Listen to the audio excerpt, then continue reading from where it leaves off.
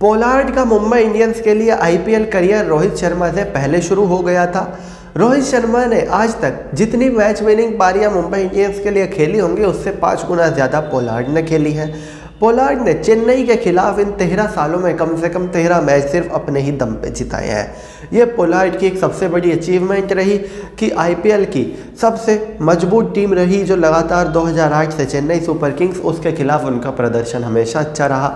बाकी और टीमों के खिलाफ भी उन्होंने काफ़ी अच्छे रन बनाए और एंड में आके तेज रन बनाने के लिए वो जाने गए। लेकिन अब मुंबई इंडियंस जब उन्हें रिटेन नहीं कर रही थी, इस बात की उम्मीद थी कि पोलार्ड ऑक्शन में जाएँगे और ऑक्शन में उनको कोई ना कोई टीम डेढ़ दो करोड़ रुपए में खरीद ही लेगी। लेकिन ऐसा लगता है कि उनको एक अच्छा ऑफ़र मिल गया मुंबई इंडियंस से।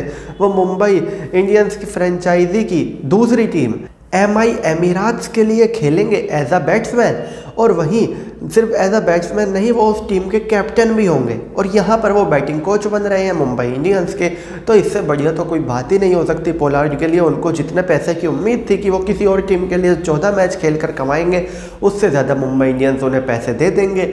मुंबई इंडियंस उन्हें रिलीज़ करके कुछ पैसा भी अर्जित कर लेंगे, जिसके बाद वो बाकी खिलाड़ियों को उससे खरीद लेंगे। दोनों के लिए अच्छी सिचुएशन रही।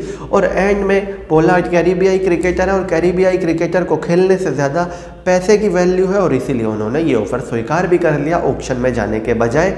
जब उनको बैठे बैठे कोचिंग देने में उतना पैसा मिल जाएगा तो चौदह मैच खेलने की क्या ज़रूरत है? तो चलिए दोस्तों, मैं राहुल दहिया, फ़िलहाल इस वीडियो के लिए इतना ही। आगे भी इसी तरह की वीडियोज़ के लिए बने रहिए मेरे साथ। जय माता दी।